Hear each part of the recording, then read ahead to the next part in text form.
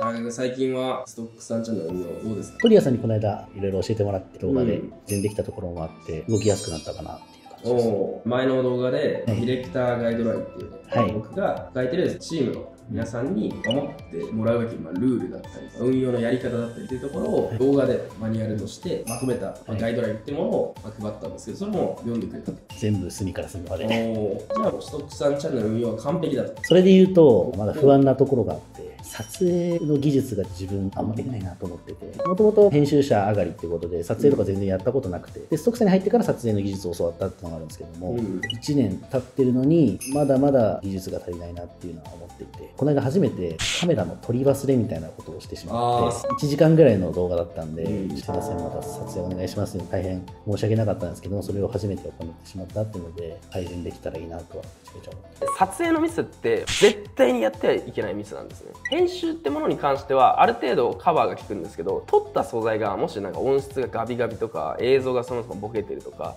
い、そもそもうまく撮れてなかったみたいな状況だと物理的に改善できないんです。最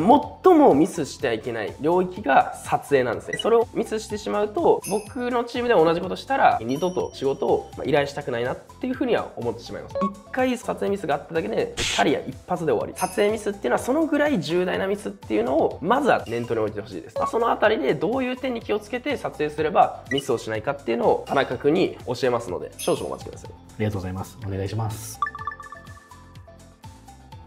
今回はですね一発解約につながりかねない、ま、YouTube 撮影における重大な事故とそれの防ぎ方ここについてをお話ししていきたいと思います。今回室内撮影そして多人数撮影最後に外のロケ撮影この3つの場面での撮影に関しての注意点最後にデータ格納における注意点ですね。ここに関しても非常にミスを起こしやすいポイントになっていますので自分で YouTube 運用していきたいもしくは自分自身で SNS をやられてる特に YouTube をやられてる方でミスをしたくないという方は必ず最後までご覧ください。先ほど言った通り撮影ミスっていうのは本当に一発で解約になりかねないほど重大なミスですので絶対にこの動画を何回も繰り返し見て絶対にミスを起こさないようにして YouTube 運用してみてください。じゃあまず最初は室内撮影です。室内撮影におけるミスしやすいポイントから説明します。撮影っていうのは基本的には映像と音声。この2つをきちんと取り込むっていうことが重要になってきます。特に映像における重大なミスとして5点ほど挙げさせていただきます。まず1つはこれです。わかりますか？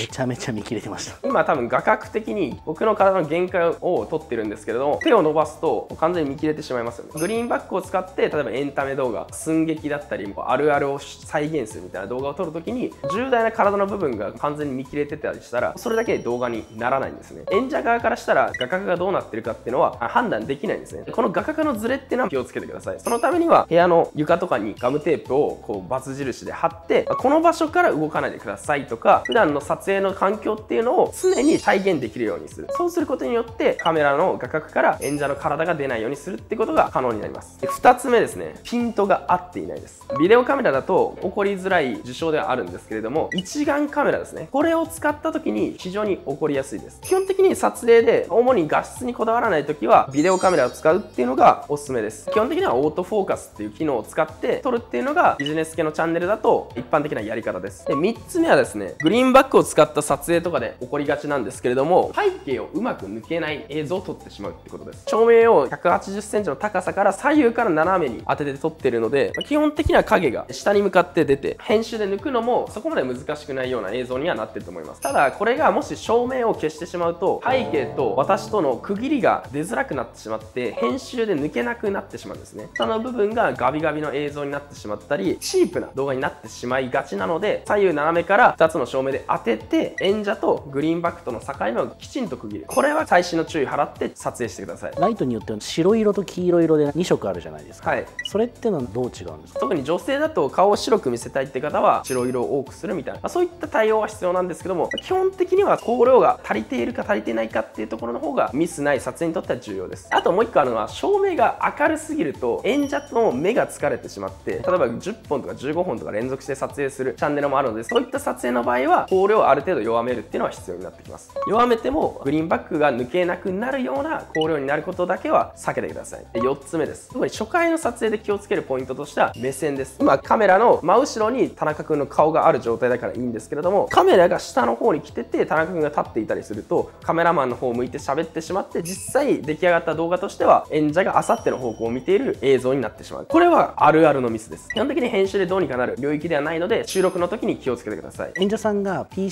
を目の前にして台本とかを読み込む場合目線がどうしても PC とカメラを行ったり来たりしてるじゃないですか、そういう時どうしたらいいのかなとかめっちゃ思います。おっしゃる通りそれも注意すべき事項でしてパソコンの画面を見ながら喋ってしまって全く視聴者に届かない動画になってしまう。これはあるあるです。台本はワンセンテンスぐらいで覚えて話すっていうこの順番を必ず切り分けて話してくださいとは言います。最後5つ目はそもそも撮れてなかった。これは正直論外なミスなのでいや撮れよとしか言えないんですけれども確かにカメラって精密機械なので完璧に押して完璧に撮り切ったでも残ってないってことは、まあ万が一には起こりうるんですね。じゃあどうすればいいかっていうと別の機材を使って同じ画角でもう1個映像を撮っておく。スマートフォンをサブカメラとして使うっていうのがおすすめです。今のスマホってかなり画質も上がってるので下手したら一眼と遜色つかないぐらいの画質で撮れたりするんですね。基本的にスマホっていうのはかなりミスしづらいんですよ。だからビデオカメラよりもミスが少ない機材を同じ画角で置いて撮影することによってミスする可能性を限りなく落として収録できます、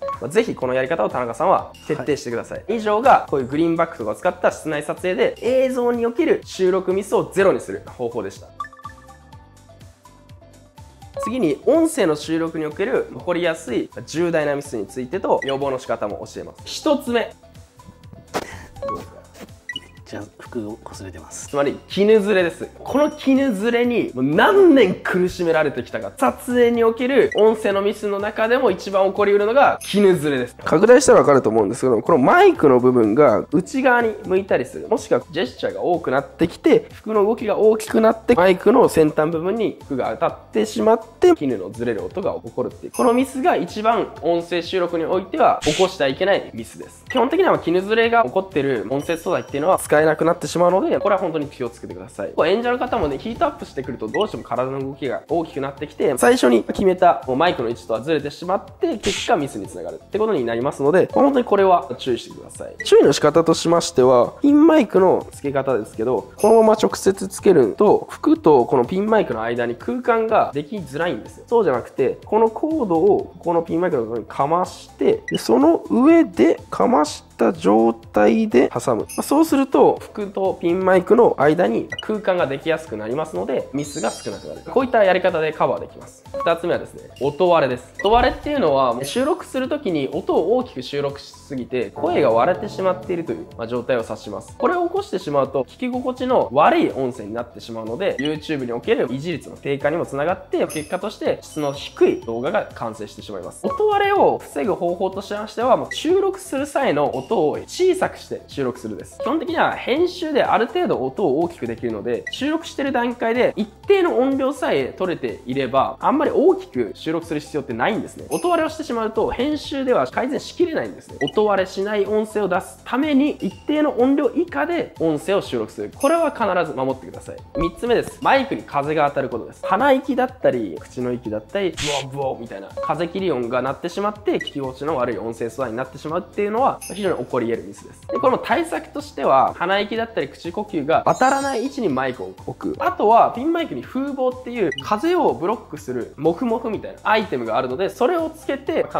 ず撮影に臨む。こういった工夫でミスをなくすことは可能です。4つ目はですね電子音が入ってしまうってことです。聞いてる時では聞き取れないようなほんのわずかな電子音が実は音声素材に含まれていて実際に編集で使おうとしたら全く使い物にならなかったっていう場合もあるんですね。これは原因としてはいくつかあるんです。けど無線を使ってる場合に起こりうるのは無線の電波が届かない距離まで演者だったりが行ってしまって音声が入ったり入らなかったりする状態になってしまって聞き心地の悪い音声素材になってしまうっていう場合が一つ。もう一つは有線のマイクでもあるんですけども電池切れです。今これ使ってるこの有線のマイクですね。電池で使ってるんですがここの電池の部分が電池切れを起こしてしまって電子音が鳴ってしまう。あとは接続が甘かったりすると電子音が鳴ってしまって使えない素材になってしまいます。電子音が鳴ってしまうっていうミスに関しては今今言った届かない範囲にいないか、充電ができているか、接続が甘くないか、ここを見るようにしてください。最後の5つ目としては、取れてなかったです。さっきの4つのミスを起こしたら取れてなかったと同義なんですね。じゃあどうすればいいかって言いますと、音声素材は必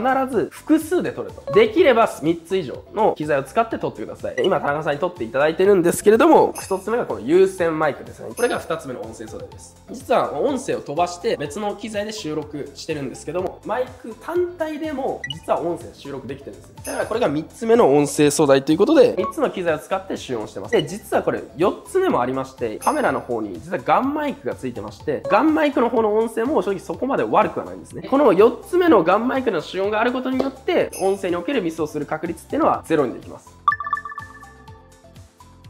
次にですね、練習チャンネルでいうキャリアコロシアム、特産チャンネルでいうカンファレンス動画って言われる多人数の撮影、これをどのように撮ってるかについてお伝えしたいと思います。まず撮影なんですけれども、特に多人数撮影とかカンファレンス動画で重要になってくるのは、なるべくリッチな映像を撮るってことですね。リッチな映像に撮って必要なのって、基本的には画質。ぼやけた映像ってチープな映像になってしまって、視聴者にとって価値を感じにくくなってしまうんですね。なるべくカンファレンス動画だったり、カメラマンが遠くから被写体、演者を撮る必要がある撮影っていうのは基本的に一眼カメラを使ってください。一眼カメラにおいて特に重要になってくるのは2つでして1つはピント。2つ目は給電できてるか。一眼カメラでしたら基本的に単焦点とズームレンズの2つのレンズの種類があって単焦点っていうのは焦点距離が変わらない。だから焦点を合わすために自分で動く必要があるんですけど、まあ、ズームレンズっていうのはこのレンズのこの部分を調整することによって焦点を合わせることができます。遠くから撮影することを考えたらズームレンズを使って撮るっていうのが適切なやり方です。オートフォーカスだったり顔認証の機能を使って被写体がある程度こう動いたとしてもちゃんと焦点が合うように設定してください。2つ目なんですけれども給電できてるか。一眼カメラってビデオカメラよりも電池が持ちづらいです。だいたい1時間とか持ったらいいかなっていう感じですね。持たない時もあります。結構長時間の撮影になることってありません？そうなってくると途中で電源切れたりしますと電池方には残りません。じゃあどうすればいいかと言いますと常に給電されているのを使うようにしてます。こんな感じで常に電源コードから給電されるような充電コードを使ってます。これだともうずっと撮影し続けることができるんですね。これもものすごくミスが起こりやすいのは部品が何個かに分かれてるんですね無理やりセロハンテープでぐるぐる巻きにしてるんですけどこれが結構外れやすいんですよ。給電コードが絶対に外れることがないように最新の注意払ってください。例えばこれが抜けてしまったら SD カード保存されません。一眼カメラ使う時は常に給電されてるかもしくはポータブルの充電器が満杯かそしてピントがずれないか。最後に SD カードを入れた時にフォーマットしてるか。フォーマットっていうのはメモリーカードの初期化をカメラに置いて行うことなんですけれどもビデオカメラで使った SD カードをそのまま一眼カメラに入れて使おうとすると一眼カメラの規格に SD カードが変わってないんですよ。だから容量はあるけど保存できませんって出てしまうことがあるんです。だからビデオカメラと一眼カメラで別々の機材使うときはメモリーカードをフォーマットする必要がございます。これは意外と知らない方多くて結構ミスにつながりやすいのはぜひ記憶して収録に臨んでください。てな感じで多人数撮影の時は特にこの一眼カメラをどうやってうまく使いこなすかっていうのが大事になってきます。ただどうしても自信ない方はビデオカメラでギリギリまで人物を拡大してそれで動画を撮るっていうのも問題ないと思うんですけど遠くから撮影する動画だったら一眼カメラは使えるようにした方がいいです。1個質問なんですけども喋っている方にすぐにカメラが移動できないんです。よ演者さんって別にカメラそんな気にしてないんでバーって話しちゃうんですけどもカメラマンは話し始める人を追うので大変っていう感じになっちゃうんですけどもそれってどうやって調整されてるのかな？演者にカメラを気にさせてください。こっち側が必死になってこう頑張るよりは、あ、すいません、ちょっとこうカメラを動かす時間をつけたいので、話し始める前はちゃんと手を挙げる、もしくは間を置くってことをお願いします。みたいな形で、まあ、ちゃんと演者とのコミュニケーションをカメラマンから撮る。これが大事。それはできてなかったです。